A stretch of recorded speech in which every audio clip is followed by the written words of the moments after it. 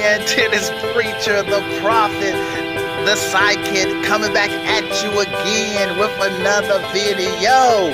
Okay, people, we got Sloane Stephens versus Ostapenko. That's a really good Miami Open finals. Who wins? What's the dynamics of all of that? Okay, let me get with Sloane Stephens. Okay, Sloane Stephens, U.S. Open champion, uh, 2017. Then she fell off the cliff, got her game back though, looking in top form, good form. Took out Azarenka. Uh, that's good. You know, that's good. She got a game back because you don't want to be you don't want to be one of those kind of players that just, uh, you know, you win a major and then you all of a suddenly, you know, just fall off the cliff forever and you never really heard of again. Of course, we know that ain't Sloane Stephens, but that's good. She got a game back. So, um, and uh, let's see if she can build on a major. I mean, of course, she's a she's definitely a candidate to win them. I mean, to start winning majors again now. And um, so now she's taking on Asta Ostapenko, who's probably playing uh, the best tennis on the tour probably right now today.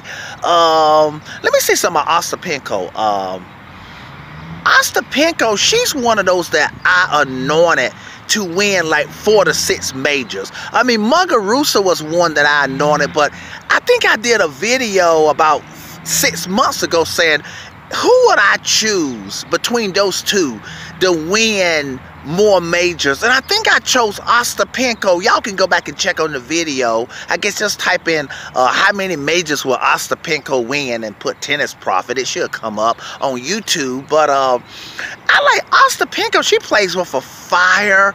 I, even though Muguruza is got two majors, Ostapenko only got one. I think Ostapenko is probably, I would say she's a little more dependable than Muguruza. If I had to choose, like, who's probably, who would I put my money on? I mean, I don't think she's that much more dependable, but I think I would go with Ostapenko. She plays with even more fire than a Muguruza plays with. And, uh, and Ostapenko plays with this intensity that I like. So I definitely would bet money that Ostapenko is going to win four to six majors. Now let's get back to the match tomorrow. Who wins tomorrow? Uh, man, that's a toss-up it's a toss up. Y'all know how that women stuff can go, man. That women stuff. That's why I don't try to predict that women stuff too much. But if I had to bet my money, man, that's a t- I should throw up a coin.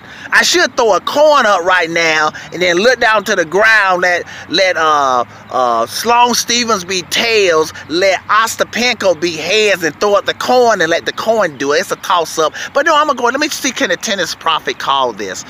You know, if I had to go, man, if I just had to call this, I'm probably gonna get the edge to Ostapenko. Probably. I mean, Sloane Stephens could beat her, but I, if I had to bet the money, man, and they say you got to bet on one of them, I'd probably go with Ostapenko to win the Miami Open. But like I said, Sloane Stephens could get it. But I'm gonna go with I'm gonna go with Ostapenko to win this. I'm gonna give the edge to her. Okay, people, great match. Uh, both of these girls could win uh, a major or two this year, or a major for sure. Definitely Ostapenko. I can definitely see. And Sloane Stephens too. She could do it. Uh, but I definitely see Ostapenko uh, being leader of the pack even.